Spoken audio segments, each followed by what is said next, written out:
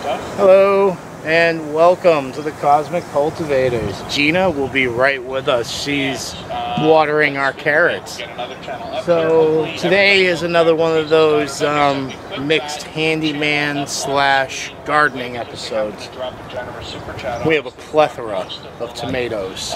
And I do mean a plethora. Which side you coming? Over that side? Alright. And I do mean a plethora of tomatoes. That being said, we're going to show you a different way of using a tomato cage, tomato trellis that you would find at any store really. I think it's going to work great for us this year. We went from 40 degrees two days ago to 93 degrees today. Yeah. So talk about jumping in head first, no getting used to it, no Yeah. nothing, just So we waited till the later afternoon to get to this. Yeah. So we're to go ahead and show you what we mean. So I'm sure you heard in the background one of our buddies. Um, new guy we've been kind of listening to. He does wonderful things for a lot of people. And that's Tuber Chat. Connect and grow. Pretty nice guy.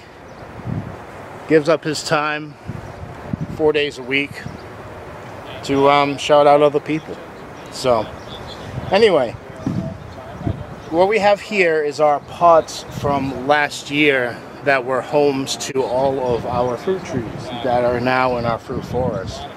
So the idea that I had about these, they didn't have these holes here. So I strategically drilled them so the tomato cage would fit in it. So what I want to do is bend the ends of these, if I can, that is. We shall see.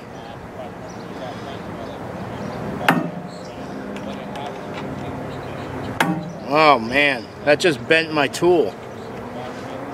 That's not a good thing. Can you see that?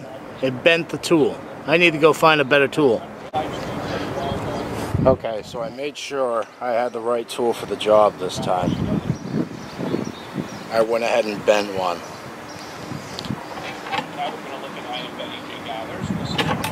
There's another one.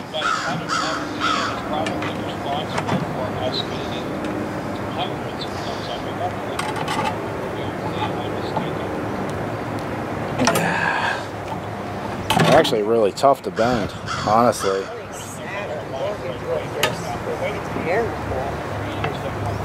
Either that or I'm starting to get weak in my old age.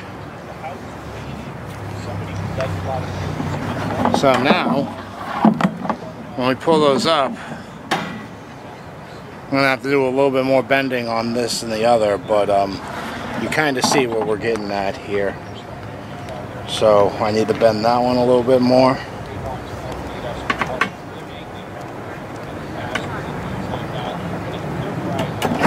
Like so. And then that one.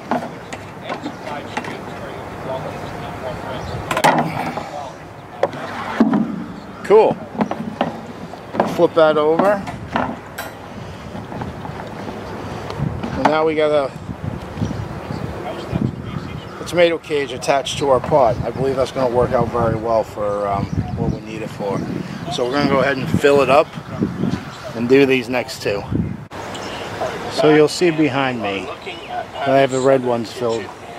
I have five black buckets. And this is another creator who's been with And I'm basically doing the same thing. I'm taking a a short measurement. on this channel, but that's okay. We just want to push them towards And the I'm next gonna bend it. that they're looking towards. We all Just know quick like, measurement. different milestones of different types.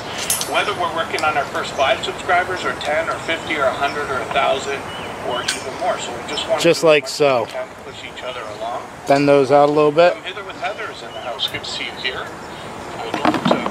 And into the bucket it goes. So this way it acts as a support system for all of these. We're going to continue filling this with a mixture. Yeah, we didn't sift any soil today, everybody. So we have some peat moss, compost, and potting soil mix. That's how we're mixing up this concoction to fill all of our buckets today. So we went ahead and we got all eight of these ready to rock and roll. We have extra compost for everything else that's happening around here. We went ahead and filled up all eight of these as well. And while I've been doing this, wifey has filled up our tomato bed here. She's plotting out how the rest of it's going to go down, like so. And she has ants crawling all over her. So as you see, we are getting things done. Oh, now I've seen everything. What is it? Piece of face mask. Oh man. That was a piece of face mask inside of our soil. And we do not use face masks. Yeah, we don't. No.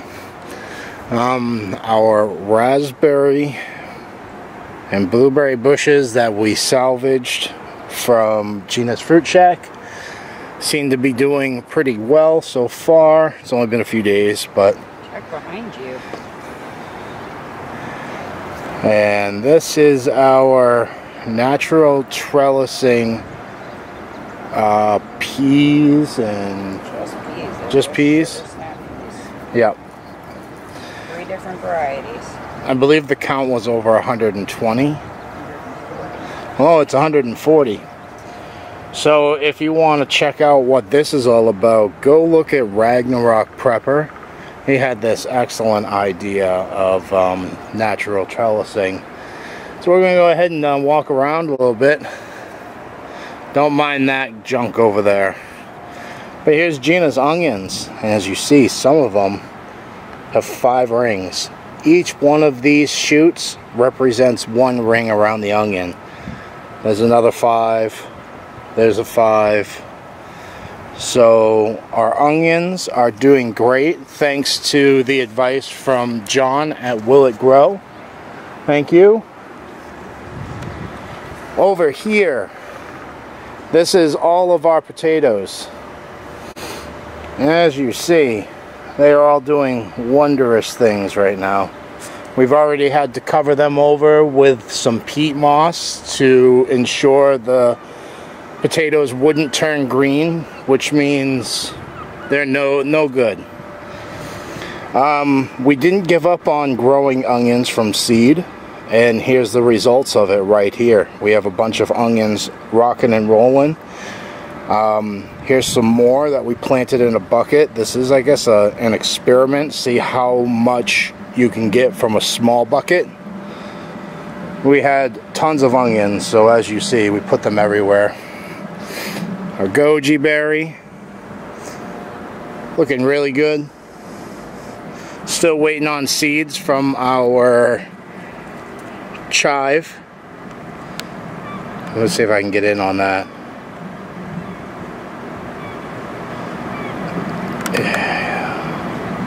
There it is. Beautiful. This is our kale bed where we have three different varieties of kale the red Russian, the dinosaur, and there's another one regular curly kale. And we have more onions. You'll notice a trend there's onions everywhere. This bed still needs to be filled. We're thinking squash. Right here is our beans, yeah?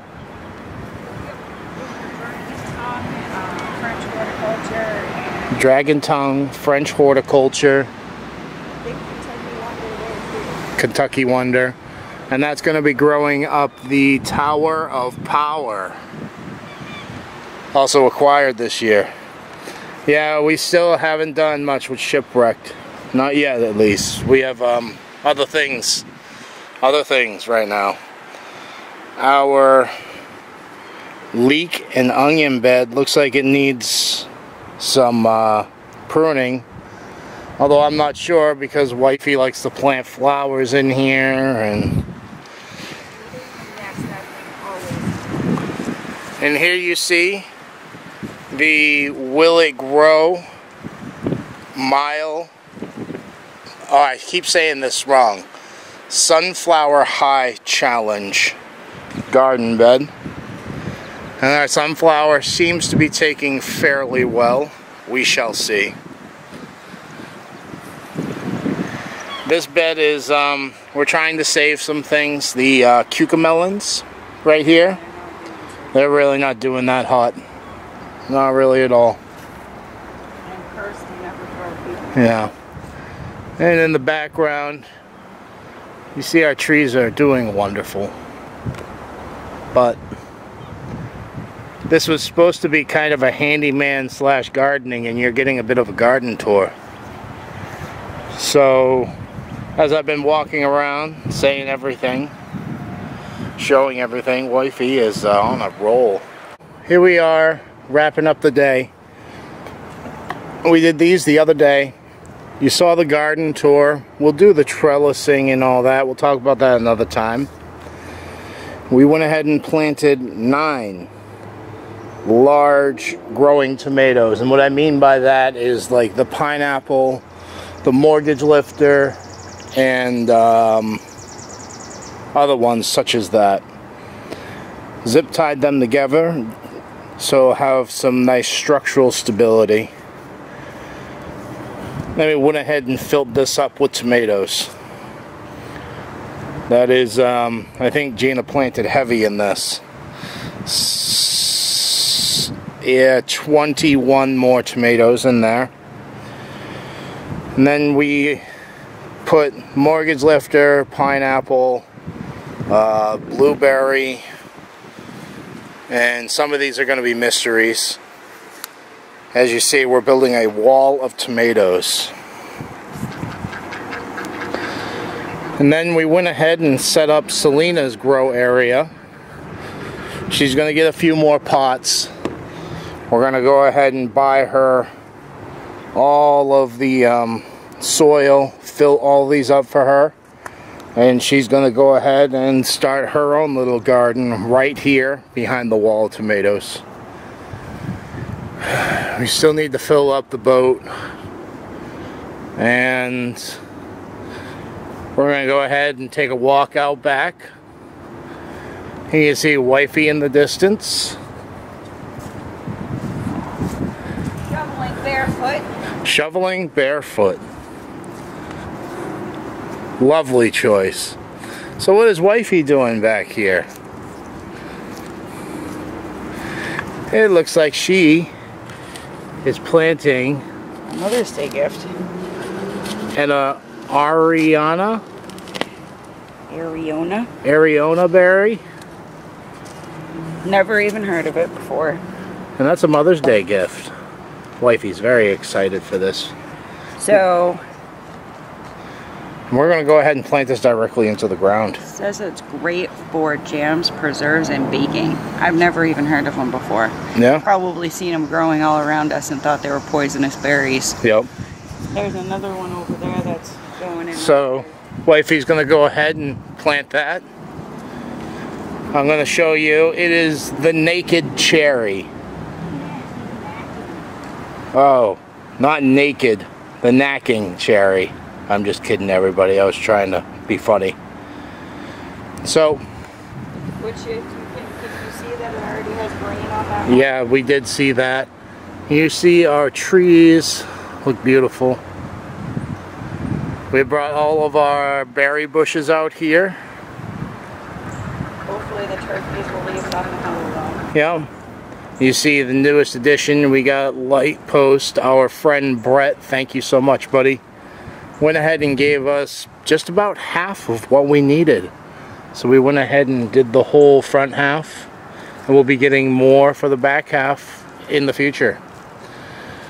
Uh, Thornless Blackberry. It's doing great down there.